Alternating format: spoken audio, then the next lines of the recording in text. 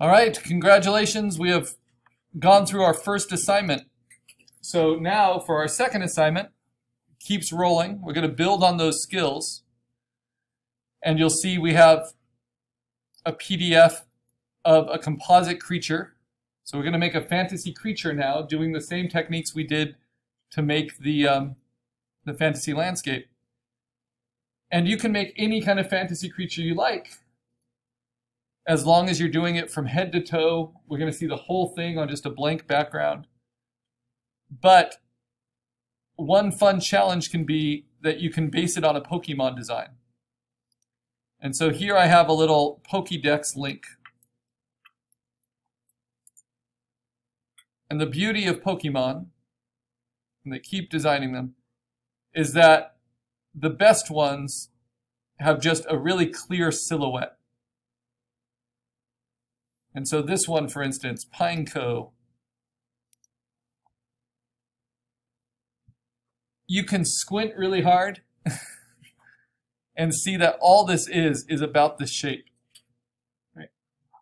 And you can also see the inspiration. So pine cones, right? But if you were to try to make this into a believable creature in the real world, and that's what we're going to try to do, it's fun to get inspired just by a clean silhouette. You know, the idea of something is, it can be pretty simple, even though it can take a lot of different animal traits, you know, to bring it together. So I'm kind of in love with this one. I've never looked at Piloswine before. So what I'm going to do is just drag that into my assignment 2 folder. This is an inspiration. So I've got Piloswine there. And I might drag another one in too. So you can use two or three Pokemon to inspire you. I like those tusks just coming out of nowhere. Oh, and then I've never really noticed this one. So many. And I like these kind of big hands and those proportions. maybe take that one over. And I'm not thinking too deeply about this. This will get me started.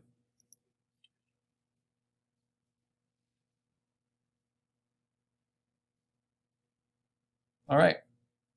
So if I go back to the assignment sheet,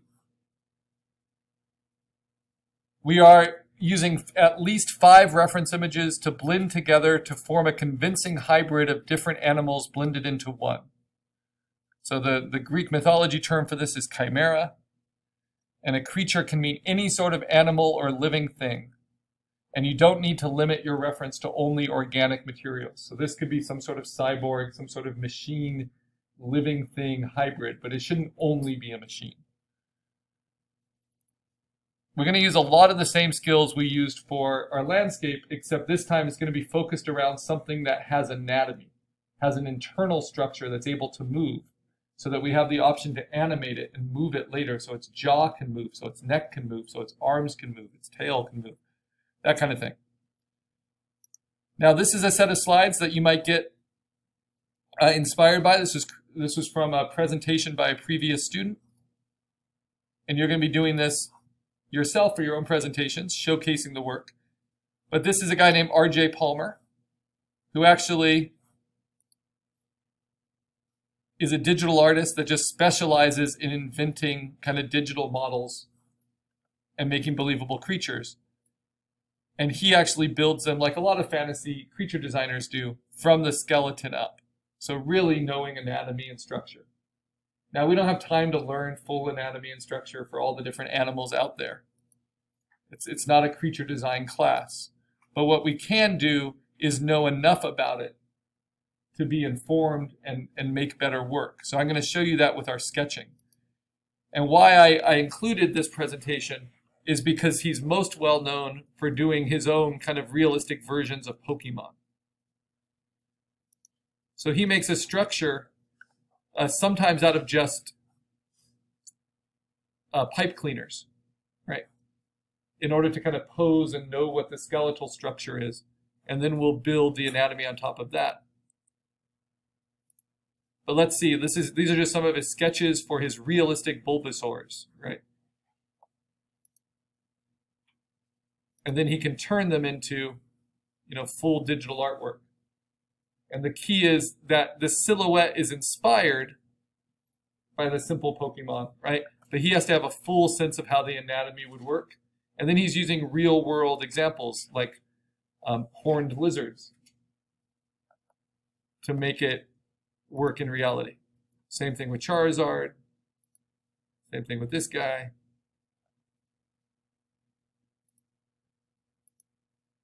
And it's all about being, you know, well, well organized. And then if you design the stuff well, it can be made into, you know, a full character. It can move, it can interact, it can be in any environment. Think Space Jam, right? Or or Detective Pikachu. Um, it doesn't matter if the aesthetics match as long as the creature can believably move in that world. So that's what we're going for. And then assignment three is going to be taking your creature and putting it into your fantasy landscape. So at the same time, I don't want you to design the creature specifically for your fantasy landscape, right? They're each separate portfolio pieces and you want them each to be satisfying. So what do we do? Well, let's look at this past student example. Once you have some examples of Pokemon, you want to just think of their silhouette, right? And then you want to, inspired by the silhouette, you want to try to put it together into a sketch. And that sketch will be your blueprint for how you map different references together. And it has a lot to do with the anatomy.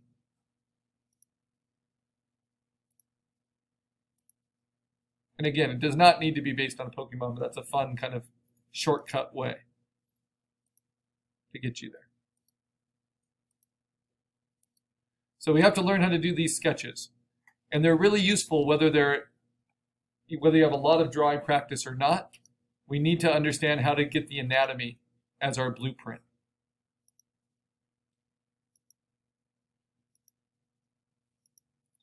So let's get started. So pretend I'm using a sketchbook. I'm going to do it all in Photoshop.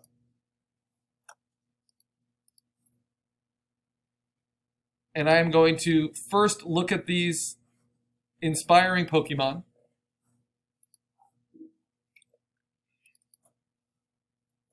I'm just digitally sketching here.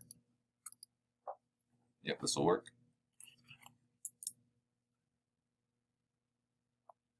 And I might bring these over into my sketchbook. Just going to shrink them down. So I have them to reference. They're references for shape first and foremost, but then also for textures and different ideas, right? Okay, so some things I can do. I'm going to rasterize both of these. I'm going to duplicate them. This is just for demo purposes, but you can kind of do this in your own mind. And then I'm going to take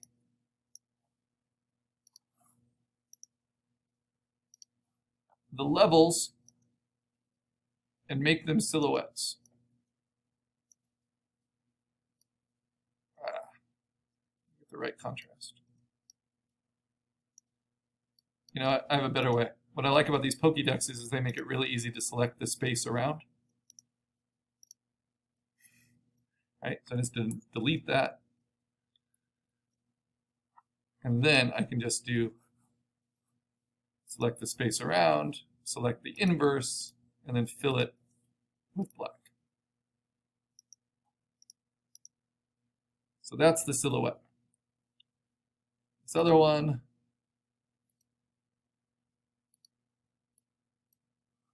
same thing, select the space around, delete it, invert the selection. Oh, can't quite do that.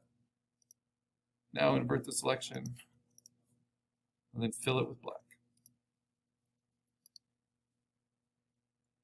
All right, so living creatures. Now I have to sketch. They have a head, right? And that's usually where you're going to start. And most heads are circular. So I'm going to start with a circular head. Then I want to see, well, which way is the head facing? So I do what are called action lines. Let me change color really quickly for these. So in blue, I'm going to show, okay, I like how the head is facing this way. and the eyes are maybe there for that creature. And then the head is facing this way and the eyes are there for that creature. So I'm going to keep that. I'm going to keep my action line for my creature like this. Okay? Which would mean the eyes might go like here and here. I don't know how big they are yet. But that's my head and that's the direction of my head. So next, what do I have? I have a spine. And the spine has to flow from the head. Right? And the spine can be a curvy spine, it can be a straight spine, but it has to hang certain structures. So that spine is going to need a rib cage. And I'm looking at these different ones and I see this rib cage and I'm thinking, okay, maybe something about this big. That that spine is running back. And then I can use action lines again and say, okay, that rib cage is in this direction, right? So the ribs are kind of running along like that. Then you need a pelvis. And the pelvis goes underneath the rib cage. His pelvis is way up here, and that's what I kind of like. I'm going to put a pelvis up high. It makes for an interesting silhouette. And I'm just sketching. You can sketch as many of these as you like. Okay, how can I be inspired by this one? Well, I like these kind of flippers, right? Where do those come from? Well, those come from a collarbone, which is at the top of the rib cage, and you have shoulder joints here and here. Notice how I'm drawing through. I'm like treating it like an x-ray.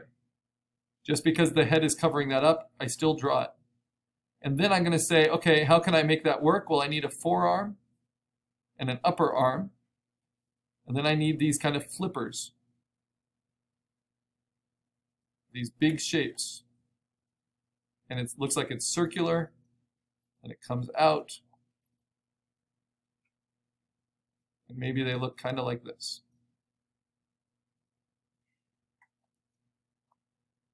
I can erase, refine my sketch. I can also, because it's digital, I can increase my canvas size.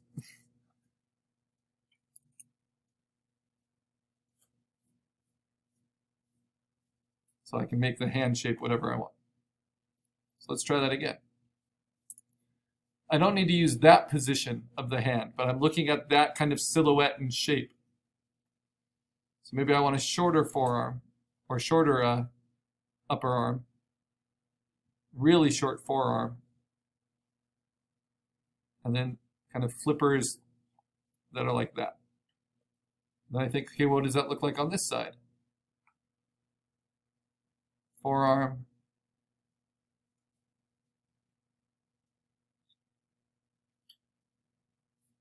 Like that. Okay. If I switch colors to see what's in the foreground, now I can look at the head again. So the heads, in character design, heads should never be just one shape. Characters, Pac-Man has one shape for the head, it works. But beyond that, you need at least two shapes. So what does he have? Well, he's got tusks and he's got a nose. So that's a second shape. That second shape might go here, right? And then the third shape, those tusks, might go here and here, and I might want to make them stronger. And that might be interesting. I might want a totally different kind of nose. But right now, I, am liking that. Um, a mistake is to try to get too much stuff in right? So what about the top of the head? I can just cover everything with fur, right, and hide everything. But I, what I like about this character is that little fin at the top. So I'm going to put that there. This little kind of bone ridge. I like that. And then I also like this little skirt he has at the back. So I'm going to put that in. But then for the rest, I'm not going to spend a lot of time uh, with the, um, the back of the body. I like that that's not even handled here. I like, it's a strong choices of what we're looking for. I like that it just goes right down to fur, like nothing else. So the last thing you do for your sketch is you start thinking, okay, what are these components? And I'm thinking, well, this is buffalo or bison. And I might sketch that in. My pin wasn't lagging. You know, and this might be walrus.